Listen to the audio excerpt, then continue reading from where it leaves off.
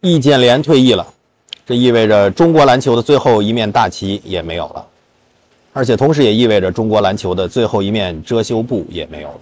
没了易建联啊，我们就彻底走出了靠一个天才支撑国家队十年的这种建队模式。之前是姚明，现在是易建联，那没有了他们，那以后靠谁呢？所以不要指望着就靠某一个啊，就靠某一个人啊，能重现当年的辉煌。你觉得周琦行吗？你觉得王哲林行吗？他们出来的时候都被称为天才。我们需要的是不断的有易建联、周琦、张镇麟、曾凡博冒出来，才可以。